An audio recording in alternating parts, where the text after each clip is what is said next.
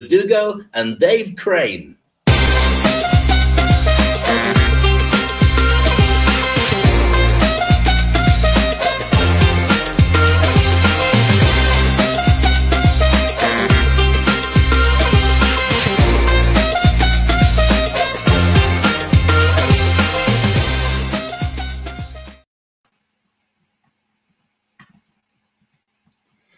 Hello, uh, everyone. This is uh, Ernesto, and I am very happy uh, to welcome you today to the uh, Toilet Paper Diaries. How are you, Dave? Wonderful, thank you. I think you might have lost me earlier, but I'm back again with a vengeance. That is correct. Well, that's one of the things that happens every time that you're actually doing live, uh, live uh, television, I suppose. So it's it's great to be here on episode two of the Toilet Paper Diaries. So Had what's some new? great feedback from yesterday, by the way. Loads of people saying what a great show, how excited they are, and what a great concept. So that's fantastic, and everybody loves the name. Everybody. That's awesome. That's fantastic. So tell me what's uh, what's new uh, right now. Today is Saturday, the 21st of March, 2020, and once again, as we were saying, this is going to be a daily uh, social distancing show. And what do I mean with uh, social distancing? That uh, we cannot really uh, meet, we cannot really get together, but this is our way to connect with uh, our community of entrepreneurs and of speakers and of experts so that we can uh, support each other during the uh, lockdown that we have because of the coronavirus. Uh, tell me, Dave, what's what's some news that we can actually hear from Dubai? Okay, well, the news from Dubai is varied. One of the things you'll see in the background is my dog Snow walking around because it's been raining with thunderstorms. And I don't know if anybody's got dogs out there, but they tend not to like it when that happens. So she keeps trying to crawl underneath my desk, which is kind of weird. Uh, and it's been keeping me up all night. So if you do see her wandering around, it's because there's thunderstorms outside, which is very unusual for Dubai. Um, other than that, uh, it's been business as usual. Dubai's government has been spraying the roads and the streets and all the different uh, um, elements that are there to give them uh, as much cleanliness and sanitization as possible. So they've been going around all the major places where people go, and uh, that's been the news in Dubai more than anything. That's cool. Well, you know, here in uh, here in Houston, some interesting developments have uh, uh, started happening, and I I do not know if that's actually reaching your uh, community. Let us know because we would like to know what's going on in different parts of the world. Here in Houston, uh, what is going on is that several restaurants uh, they are because of course they have uh, perishable food what they are doing is they are actually selling some of the perishable food that they have in their uh, you know in their fridge or, or uh, you know in the storage they are selling it at supermarket prices right now this is an this is an unprecedented thing uh, unprecedented, uh, unprecedented thing that i have seen that they are doing that so let us know what's going on right now in your community and uh, you know another thing which I thought it was actually very uh, very nice. Yesterday I was watching uh, Jimmy Kimmel, and uh, Jimmy Kimmel is actually doing the shows in the exact same way as we're doing our shows. I mean, basically he's doing their sh- the, his show from the television. So sorry, from his house, not from the television, but from his house. And he's yesterday he in, he implemented formal Fridays which uh, he was saying, well, uh, you know, I mean, if uh, if we're gonna be here locked down, I think it will be very nice if on Fridays we actually dress up like if we are going somewhere. And uh, he encouraged everybody to show their pictures, and I thought that was a very good idea. I I, I know that uh, because he's an influencer, he got started with the. Um, with the uh, how's it called the L bump, but right now it's not actually to do the L bump, but to basically just say hi uh, like that. So those are the things that I noticed today. Um, Dave, what uh, what are you now up to in uh, entertainment? Because of course you are always super up to date with entertainment, so you can tell us what's going on. Well, it's been kind of a blessing and a curse at the same time because I don't normally get a chance to watch much on Netflix or any kind of TV shows because I'm busy doing lots of other stuff. But of course, the extra time means you can use your hours as you want. Uh, and being up early in the morning with the dogs, all worried about the thunderstorms, I got a chance to watch quite a bit of TV, uh, working through the things that I enjoy. Now, the thing about all the different, right now, there's a crossover that happened maybe about three, four years ago, where once upon a time movies were super high quality things to watch, and TV was something that was cheap and put together on a budget. Now that's changed quite considerably. I think it changed most when um, 24 came out with Kiefer Sutherland because the actual production values on that TV show were the same as you get from a, a movie. And also, you found a migration of movie stars over to TV. One of the beautiful things about that at the same time is you've got a lot of people who are script writers who were writing stuff for TV because then they don't just get one actual credit writing a movie, they get kept on as an executive producer uh, and they get a whole season's worth of, of wages. So TV is actually really good quality in comparison to the way it used to be. And there's enough for everybody. One of the great things about the streaming um, services like Netflix and all the other ones is not only are you able to get the stuff that's made for your particular genre or your particular type, but in all the different languages, so many of these uh, foreign movies and foreign TV shows are being translated with either subtitles or completely voiced over because you know the quality of brands uh, and everybody can get a chance to watch them. So right now, it's a it's a great time to watch TV. I particularly like my zombie movies. So when you're talking about an, an apocalypse happening, I've been watching The Walking Dead for ten years. Um, so then I start thinking, sorry, you're already well trained to what's going on right now. Oh yes, I've got it all worked out. I'm going to sleep inside the car, and uh, I might bring the dog if I can keep it quiet a bit longer. Um, but uh, yes, I mean, eh, there's tastes for everybody. So I know a lot of people, it's been a godsend, but I know that Netflix have been asked to turn down the bandwidth of what they offer, certainly in Europe, because um, it's using up too much internet for people. So I think if they're juggling between um, the kids are on um, playing Fortnite, uh, mum and dad are watching their various TV shows, and there's YouTube and there's other gaming things that are going on, a lot of the internet is disappearing in the house. So I think it's just a case of balancing that better. As far as uh, movies goes, um, there's a big change in the scheduling. Do you want to roll the VT for um, James Bond so we can talk about that? Absolutely. So let's uh, get it started. Uh, just here.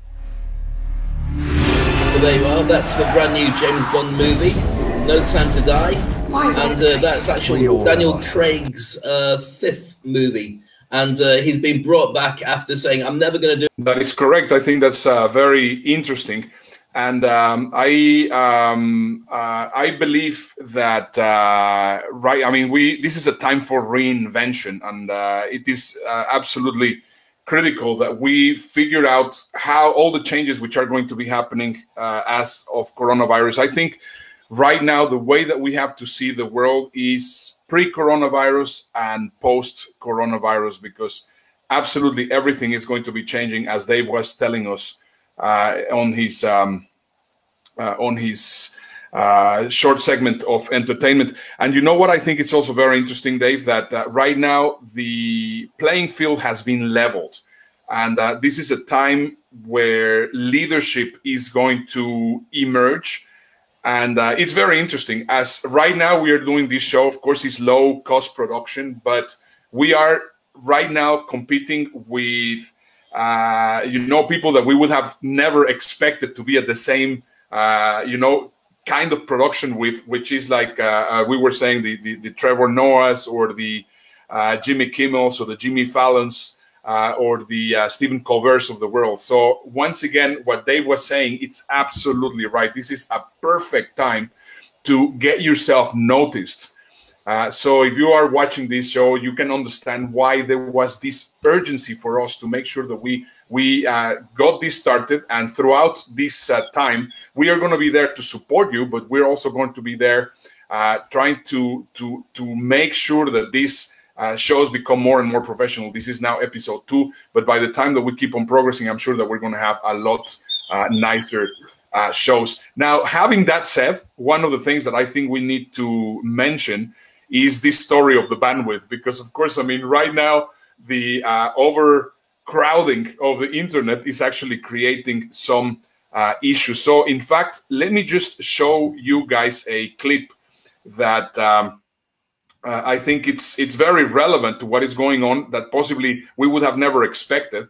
So the let me just roll the clip. migration online is putting our internet infrastructure to the test. In Seattle, one of the coronavirus hotspots, internet usage has spiked 40% in the last week alone. There was some panic. Mom Michelle Peters is juggling working from home and her three kids taking online classes from a single laptop, all on an ordinary Wi Fi connection. I have online resources and things coming from the library and things coming from teachers, and now friends all over the country who are in the same boat pushing out. Here's my homeschool information. And it just is overwhelming. To ease the burden, the FCC is working with companies to open up Wi Fi hotspots, promising not to cut off any internet services for individuals and small businesses if they can't pay the bill, and waiving late fees. Whether it's somebody who's staying home from work teleworking, whether it's a student doing homework, whether it's a patient who needs to get in touch with his or her healthcare provider, that connectivity is going to be really important in the days to come. And the FCC wants to make sure that every American keeps and stays connected. At the same time, major providers say they're preparing to increase capacity if needed. AT&T and Comcast, the parent company of NBC Universal, say they'll lift data caps so users won't pay overage. Cox says it will automatically upgrade basic internet packages to a faster speed. If your internet connection is feeling slow, be sure to take the devices that you're not using off of the Wi Fi. And no streaming entertainment or video games when you're trying to get that work or homework done. And you can always call your internet provider to see if they'll up the speed for you. So, as you can see, there's a lot of uh, things which are going to be definitely uh, changing. So, uh, Dave, what do you uh, make out of this? Okay, well, very interesting. I mean, I think that the internet providers have to really look. I mean, they can milk it, they can make a lot of money right now, but they can also make a difference to the way that people are. The, the key thing is that regardless of whether you are charged or whether they give you more um, internet for your money, they have to keep that lifeline going. For many people, being stuck at home is not going to be fun it can be um, manageable if you've got a lifeline to the outside world. So people will remember who looked after them and who didn't. So it will be a case that every single um, internet provider will have to treat its customers like gold. Otherwise, they will get stuffed afterwards by people saying, I wish I'd never gone with those guys. I had a terrible time during the, the coronavirus uh, lockdown. Um, I wish I'd never signed up. So they're under scrutiny as well. But they have to be very careful how much bandwidth is being used. But people also have to man- monitor it in their own home. And so sometimes the kids can't do the homework and watch Netflix at the same time. That is correct. I think uh, right now, uh, Vincent, my 14 uh, year old son, has gone 100% uh, online with all the. I mean, they were very fast in getting everything done. However, my daughter Nina, uh, has not uh, yet still received her assignments and uh, and everything that she has to be uh, getting. So I mean, little by little, I think we're going to be getting more and more saturated uh, with the internet and the changes. Which actually takes me to another very interesting point, which is right now. Uh, as a speaker, as an expert, everybody's thinking, well, you know, we're going to go online, and they are, you know, they are. Everybody's doing uh, different webinars and they're doing different things and whatever. And I can understand, but I think most importantly in this situation, we need to have, uh, you know, we need to pause for a second and we need to think a little bit uh, of what's going on and how we're going to be doing it because I have the feeling that there's going to be an oversaturation of uh, you know online courses from all the experts and the gurus that cannot uh, have uh, live events. And what that's what's that going to create is it's going to create a huge amount of uh, a supply of online uh, education, and of course, in my way of seeing, uh, the prices are going to drop. So I think the most important thing to think about is not so much into trying to uh, into trying to create new content, new educational content, but more than anything, uh, because there's going to be an oversupply of it, but more than anything, try to focus on the communities that you're already serving in actually trying to provide tremendous value. What's your take on that, Dave? I agree with you completely. I think that one of the things that people should have been doing during the, the opportunities I had earlier was um, making connections and growing their tribe and their connections. Um, because those are the people who know you, they trust you, they like you, and they've been connected to you for quite some time. They've seen what you've posted about, they know what you do for a living. They're the most likely to convert when you've got a product that you want to sell to them. Now, as for the fact there's oversaturation of brands and people putting out their content and their courses and all the rest of it, I think you've got to put it in perspective, perspective of Starbucks. Starbucks, which arguably, I mean, okay, they're, they're all empty now, um, but Starbucks is very expensive for coffee. It's very expensive for biscuits. It's very expensive for everything at the moment. So why do they make so much money? Well, because people want the experience. They want to know that you get treated the right way, that you got a lot of choice, that you can find something that's particular to you, and also the branding is very important. When you go along, you can be seen. It's got bragging rights. You can see what the world is doing, and so these are big hints for anybody who wants to fight a pricing war we could all have a cup of coffee at home for less than a dollar, but at the same time, you'll happily pay five dollars, six dollars, whatever it is, to go to a Starbucks because the experience of having it there is worth the extra investment. So I don't think price is the only the only thing. I was chatting to a very good friend of ours earlier, uh, Gautam Ganglani. I was talking to um, one of his uh, neighbors who has an online training system, and he did a promotion of dropping the price down by 75% this week to try and get people to buy it so he could make a lot of money, obviously worried about lack of uh, events coming through. Uh, and it backfired badly. It ended up with a situation where people weren't buying it. I mean, how do you put yourself again and show you value when people know that you'll pack sell? So I think that the key to it is to review what you have, always keep an ear to what's going down well in the market, but also look to give heaps of value and maybe not even selling it yet. Maybe you need to reinvent and go back again to what makes people connect with you from the very first place and see where from there you can find your pricing and when it's the right time to bundle together. Correct. I think uh, uh, that's going to be what we're going to be talking about tomorrow, which is going to be reinvention.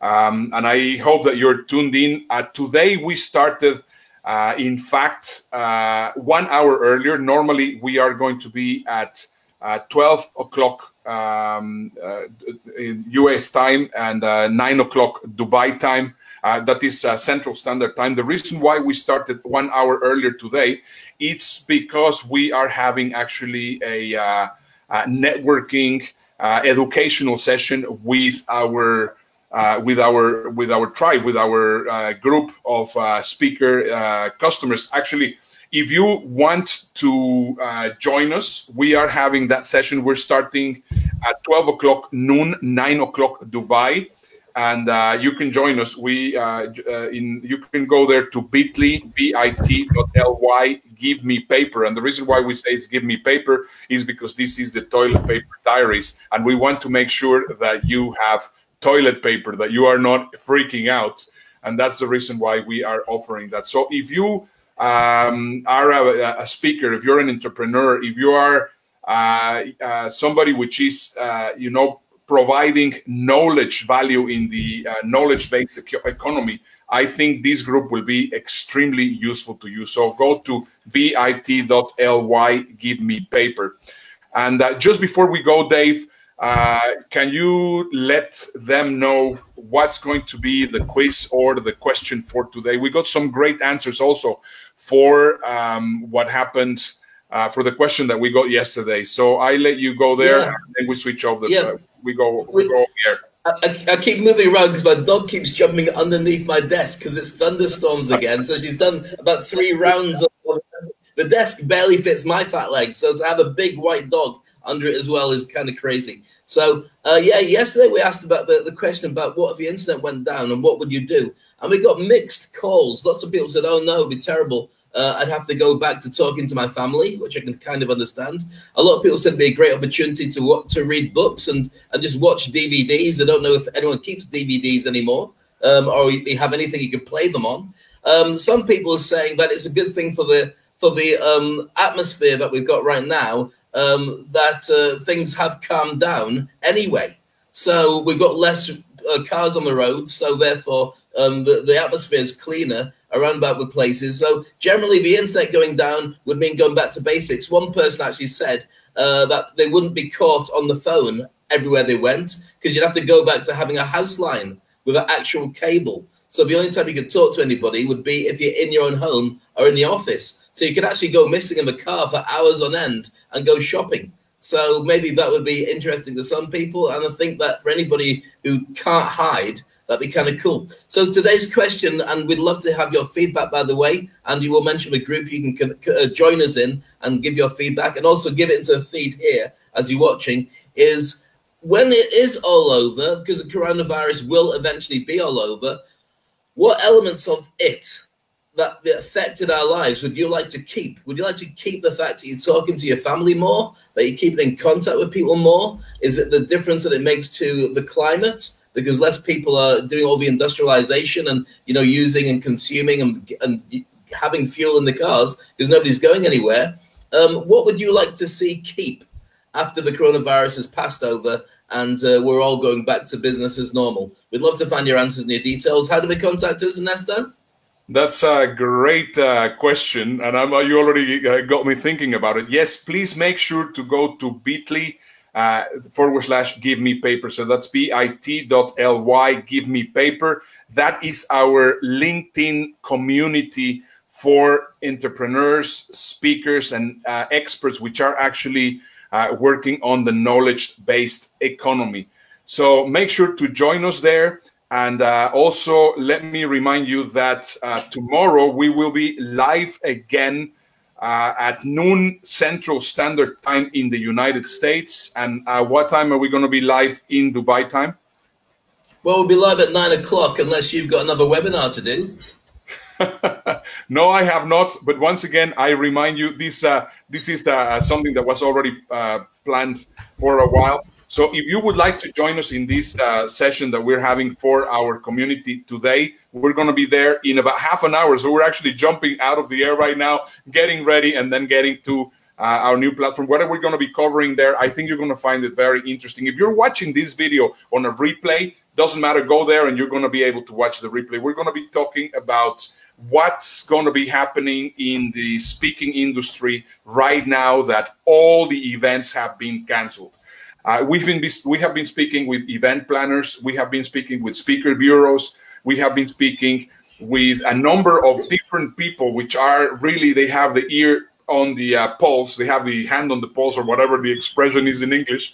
And uh, we have some really interesting information. So if you want to know more about that, uh, just simply join us there in our community where you can go to bit.ly, give me paper. So once again, this is Ernesto Verdugo and Dave Crane and uh, Snow, who's going bonkers under the desk because out, out here, thunderstorms are going, the rain's coming down, and hopefully tomorrow it'll be business as normal. Take care of yourselves. Talk to you soon. Take care and uh, talk to you very soon. This has been uh, this has been a live show from Dubai and Houston. The uh, toilet paper diaries.